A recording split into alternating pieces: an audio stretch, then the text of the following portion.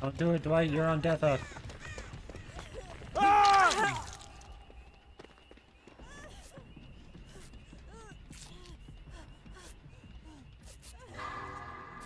What if she had Iron Maiden too? To go with that.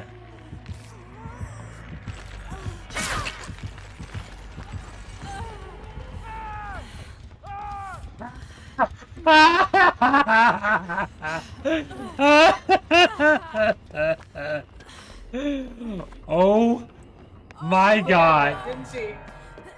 She had the Iron Maidens.